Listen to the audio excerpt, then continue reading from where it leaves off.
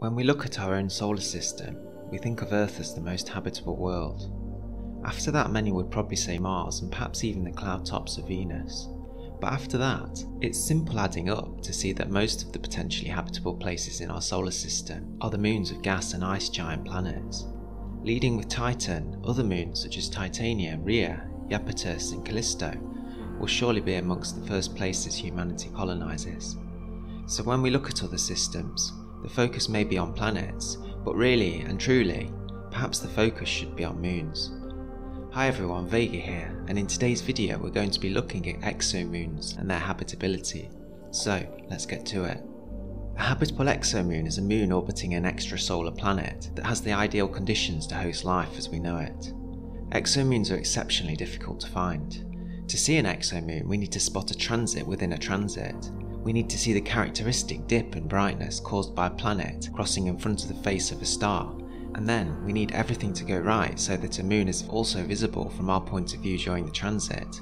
And because moons are much smaller than planets, we need high sensitivity and very strong observations to confirm a detection. That said, so far a total of 21 exomoon candidates have been detected, although none of them have yet been confirmed. In our searches, one of the best candidates of all was identified around a cool giant Jupiter-sized planet known as Kepler 1708b that orbits a long way from its host star. The exomoon discovered is 2.6 times larger than Earth, and it's an incredible find, and the habitability of extrasolar moons could depend substantially on their relationships with their host planets. Exomoons are not new ideas, and indeed in the sci-fi classic Alien, the planet LV-426 is actually a moon in orbit around a gas giant planet that itself orbits one of the two Zeta Reticuli sun-like stars some 39 light-years away. Indeed, in 2012, scientists introduced a concept to define the habitable orbits of moons. They define an inner border of a habitable moon around a certain planet and call it the circumplanetary habitable edge. Moons closer to their planet than the habitable edge are thought to be uninhabitable as things stand. Interestingly as well, Lehmer et al. found that, for example, if the moon of Europa were to end up near to Earth orbit, it would only be able to hold onto its atmosphere for a few million years. However, for larger Ganymede-sized moons, venturing into the solar system's habitable zone, an atmosphere and surface water could be retained pretty much indefinitely. Models for moon formation suggest that the formation of even more massive moons than Ganymede is quite common around many of the super Jovian exoplanets. Additionally, tidal heating could also play a large role for a moon's habitability.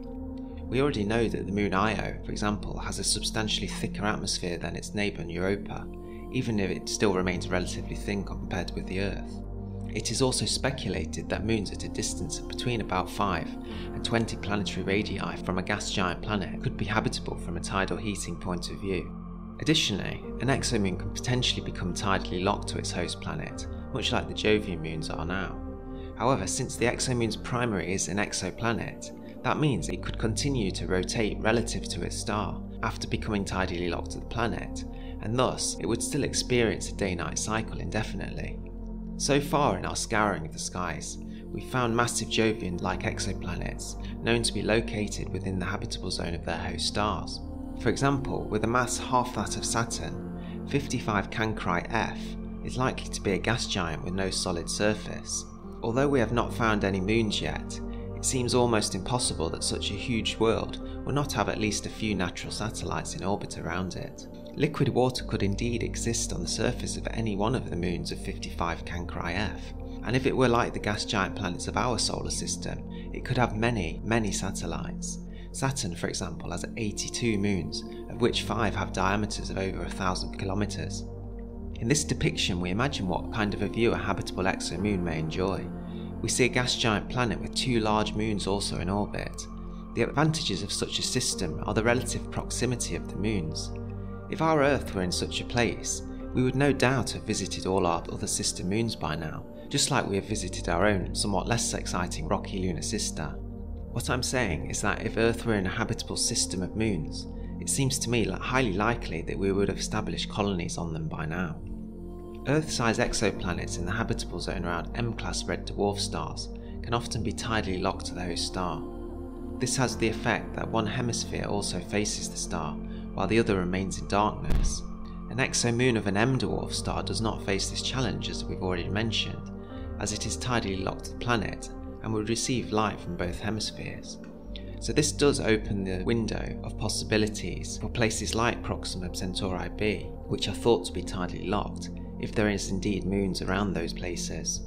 Obviously, as well, we do not have an example of this in our solar system, but the Earth-Moon system does not fall far from that tree, and probably suggests that even if tidally locked exoworlds with exomoons orbiting them are rare, there would still probably be many examples within our galaxy. If you excuse my hastily constructed allegory, finding exomoons is a great hurdle in our thirst for knowledge. If finding exoplanets is like looking for a needle in a haystack, then finding exomoons around them would be something akin to finding a particular haystack on an Earth sized planet and then indeed finding the needle within it.